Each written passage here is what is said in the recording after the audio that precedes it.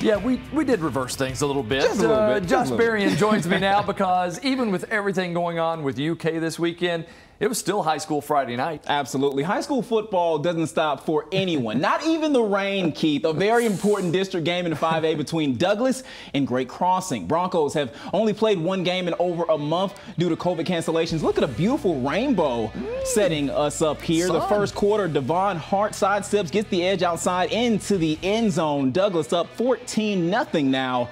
Second quarter, Samuel Cornett on the drive, but cookies. Jarvey Ray, ladies and gentlemen, coming up with a pick, ah. but it was a historic win for the Broncos. The program's 50th win in school history, marking an 88 winning percentage, 38 to 7 Douglass the final. They are now 7 and 0. A 6-8 clash of two 6 and 1 teams, Bryan Station hosting Oldham County Colonel seeking their first district win. Defenders up 7-0, back in the red zone.